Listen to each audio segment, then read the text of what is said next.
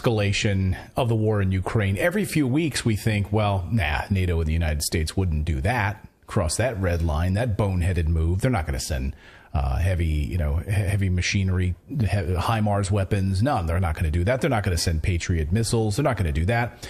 And then, of course, they keep disappointing us week in and week out. And so now another move, sending Patriot missiles to Ukraine. Russia responding just a few minutes ago, saying they would attack these Patriot missiles uh, they'll see them as legitimate military targets, which of course. So to make sense of things where where they stand right now, is this a massive escalation of this war? Colonel Douglas Macgregor joins us to discuss. Colonel, great to see you. Good to see you. So I, I certainly do not regard this as a major escalation. You do not. Uh, you do not. No. And I'll tell you why. First of all, this is an air and missile defense system that was designed really to do two things destroy incoming tactical ballistic missiles and aircraft. Uh, its its record is not perfect, but it's a good system. It's a very fragile system, a very expensive system. We're talking about sending seven or eight launchers. Uh, normally, I should even say normally, but you can have as many as eight launchers in one battery. If you do that, that gives you about 128 missiles loaded up in the launchers that can be fired at these tactical ballistic missiles or aircraft. Now, it could also be used against cruise missiles, but that's not what it was designed for, and it doesn't perform nearly as well against cruise missiles and low flying uh, unmanned aircraft as it does against uh, high speed aircraft and tactical ballistic missiles. The most that they could do is protect what I would call a high value target you could put a certain number of these launchers around a, a headquarters or a co- command and control node, potentially an ammo storage area if you thought that was, you know, very sensitive.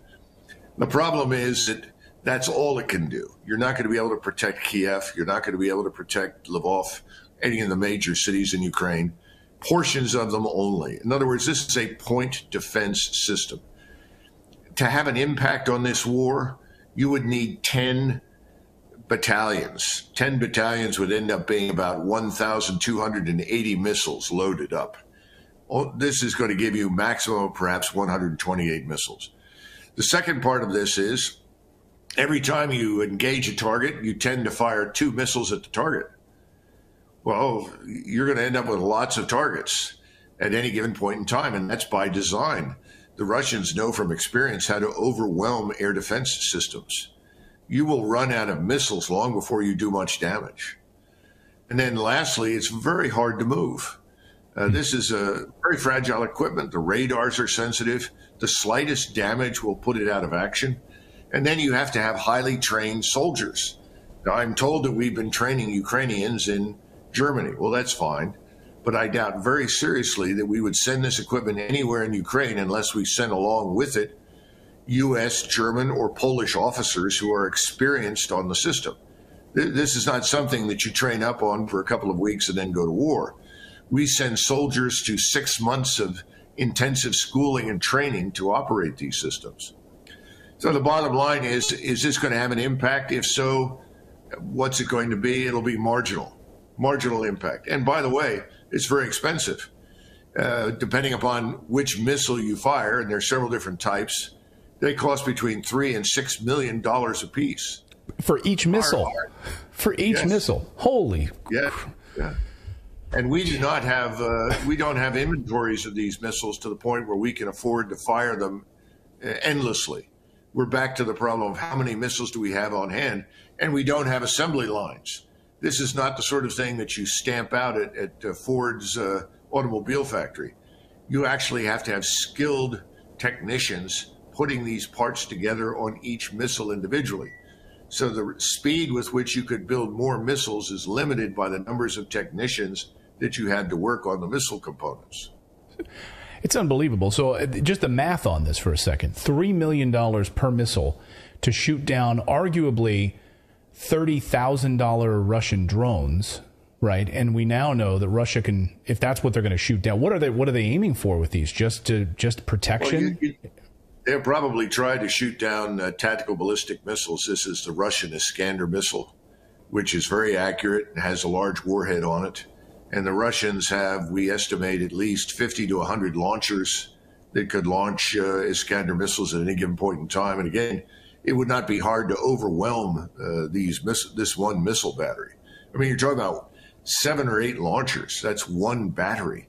You'd need 10 battalions to protect Ukrainian forces on the ground and, and key points across the country. That if you were going to war, that's what you would send 10 battalions. We don't have that to send. Ukrainians can't man them. So the you know I'm a glass half full kind of guy, and so I feel like well this is good news. This is not an escalation. This is just more of the same. We're gonna we're, we're going through our our warehouses and we're finding out some of the, the old stock that we've got.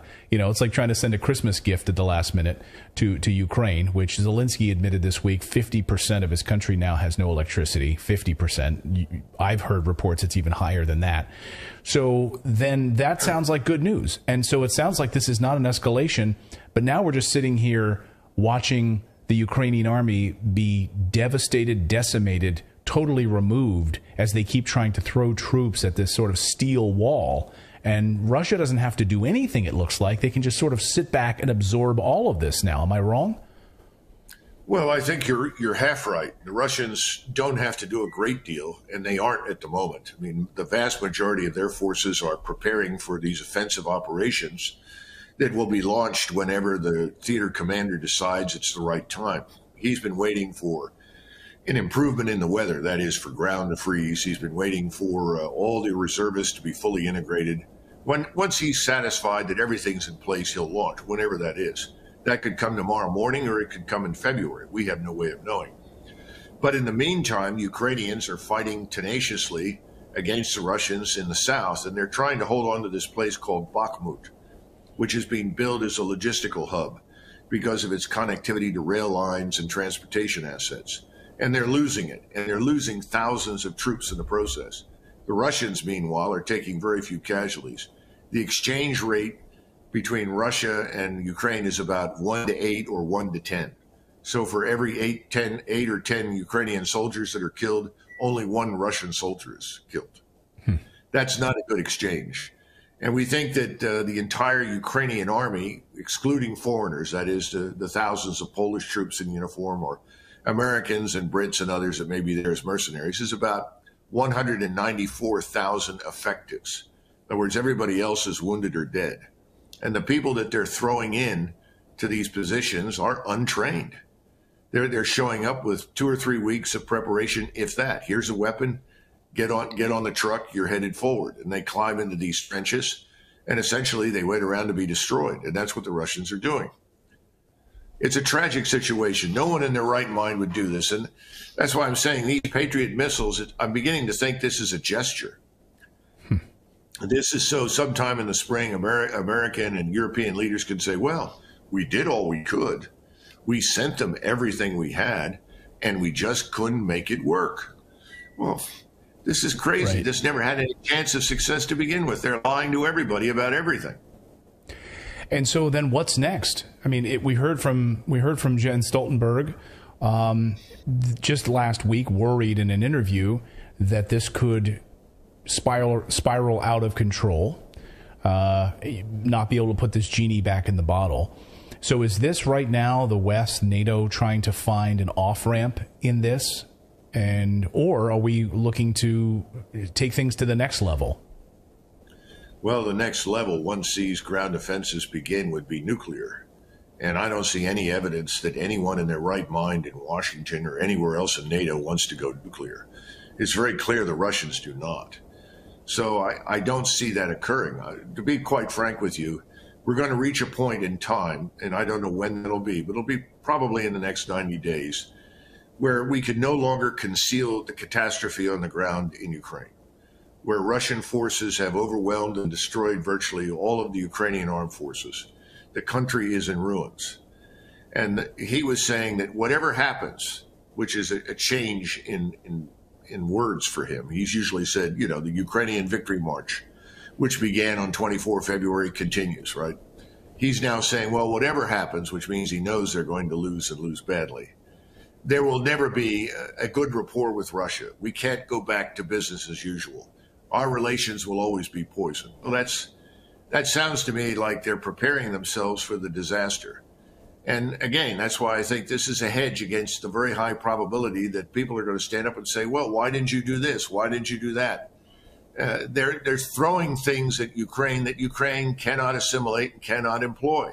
Hmm. And we're sending more Westerners over there in Ukrainian uniform as contractors or soldiers to try and make up for it. It's not going to work. I think everybody knows that. But we're going to continue to the bitter end. And there's not going to be much left of Ukraine when they're through. I, I suppose that that you change the subject, right? Right. I guess you move on. I have a couple of questions about this, uh, specifically the contractors showing up there and who are now actively involved in the fight. And we had that Newsweek piece that we covered here on the show last week, where you have a retired colonel who is now leading Ukrainians, I believe, in the city of Bakhmut. And we just talked about that. A retired colonel from the United States, Milburn, I believe, is his name how does that happen? I mean, pull. Can you pull the the curtain back on this for a second? You're a retired colonel. Do you get a phone call? We need somebody to go. We can't have it be on the books.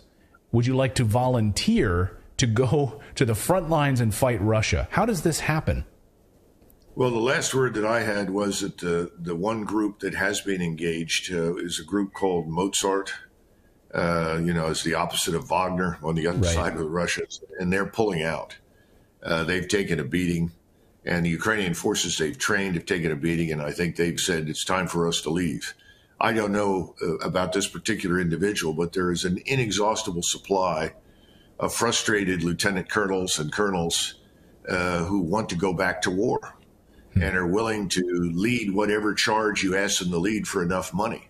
There's a real market out there for mercenaries. Hmm. Uh, I think it's a bad idea for American citizens to become involved in other people's wars under any circumstances. I think we should go back to the old law that we used to have, which is if you serve in another state's army, you lose your citizenship. I, I just think it's, you know, we've yeah. got to get out of this business once and for all. But it's very popular, and uh, there are lots of people willing to do it. There are lots of uh, recently uh, departed soldiers, people that were on active duty for three, four, five, six, seven, eight, nine, ten years, and it's there's good money in it. And initially, it was just training, but increasingly, we're seeing the active employment of, of foreigners by the Ukrainians in the front lines. But I wouldn't worry too much about it because uh, once these offensives begin, no one is going to be in a hurry to go over there at all. In fact, they're having trouble right now recruiting, period, from foreigners. One more question on that, and then I really quickly want to ask you about the offensive. So, this money, where does the money come from? Is this part of a Pentagon budget, part of a normal Pentagon budget drawdown, or is this like a side? Like there's like it's like petty cash that's kept in the office somewhere, and they kind of they draw on it secretively for these mercenaries. Well, remember you have this thing called the black budget that we never see, that has billions in it. uh, and then you have a number of front organizations through which you can launder the money. So instead of getting your, your cash from quote unquote one of the alphabet agencies, it's coming through a front entity stood up on foreign soil overseas. It could be in Poland, it could be in Germany, it could be anywhere. And you're recruited and sent off uh, that way.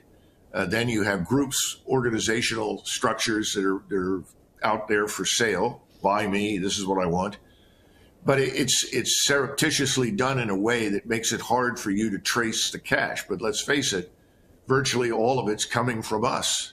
We're keeping Ukraine going. We're paying for their government. We're paying for their armed forces. We're paying for their equipment. We're paying for just about everything. The Europeans uh, have slacked off dramatically. I mean, the Italians finally said, we'll, we'll send humanitarian aid and more military aid. They're not the Lone Rangers. So when the last the last man standing will be us, and then we'll bolt at some point when it becomes obvious we can't stay any longer.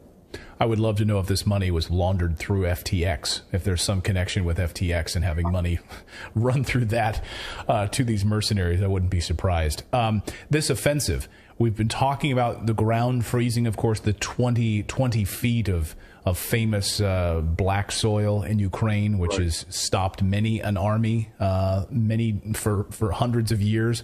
Um, what are you hearing, and what are your what do your senses tell you about what type of offensive we are going to see before Christmas, after Christmas, and what might that look like? The northern half is frozen. the northern half of Ukraine is now largely frozen and would accommodate the, the large forces maneuvering across it. Down south, not yet. You still have areas where there's standing water in some trenches, and you can't do business. You're talking about the Rasputitsa. This is this heavy mud that just makes life miserable for everybody until it finally freezes. That's part of the issue. The second thing is it's a matter of timing on on the part of uh, the commanding general. He's assembled the forces. Uh, the last count was 540,000 a few weeks ago. It's undoubtedly gone up some more, but it's not just raw numbers. It's the force itself. How is it organized? How is it packaged? What capabilities is it bringing? And I think you, you've got a force now that bears no resemblance to what you saw back in uh, February. This is a very firepower rich force, enormous quantities of standoff attack systems and direct fire weapons. They know exactly where they're going when the time comes. They've, ad- they've established what axes they want to use. We don't know what they are, but clearly they want to do three things. They want to first and foremost cut Poland off from Ukraine.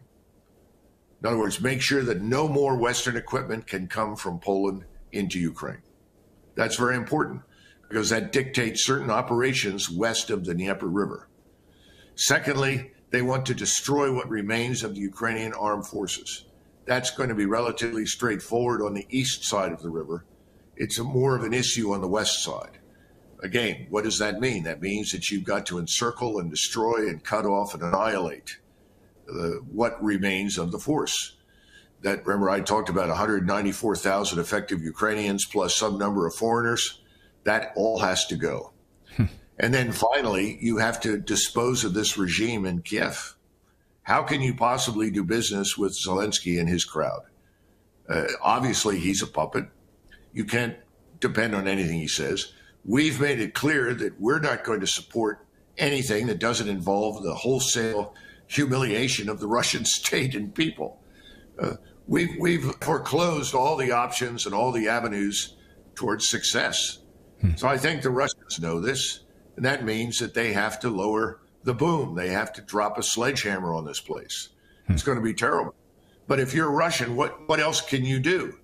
You, you you're not dealing with someone you can trust on anything. We've now had these revelations from Merkel about the right. fact that the Minsk Accords were simply a stalling mechanism to buy time for the Ukrainians to arm for the war. Good God.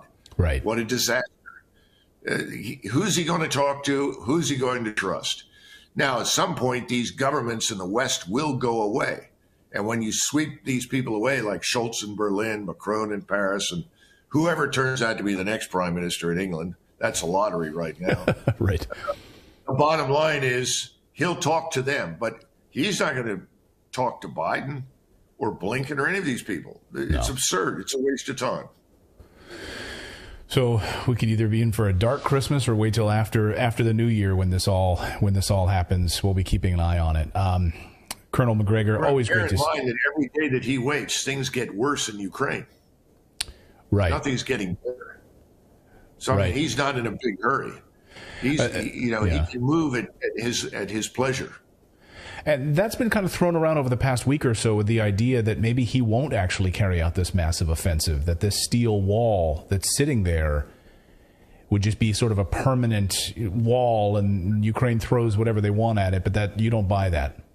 That's impossible. How else do you get rid of the Ukrainian armed forces? How else do you get rid of the government? How else do you stop the influx of Western technology, military technology, and equipment into Ukraine? You've got to go in. Hmm. It's the only option. So people that think nothing is going to happen, I believe, are delusional. Well, you heard it here. Colonel Macgregor, always great to see you. Always great to see you. I hope you have a wonderful holiday, and uh, hopefully we'll be able to uh, have some some deeper discussions on this and see uh, if the cooler heads prevail after the new year. But uh, Merry Christmas to you. Thank you so much for your great analysis, as always. We really appreciate it.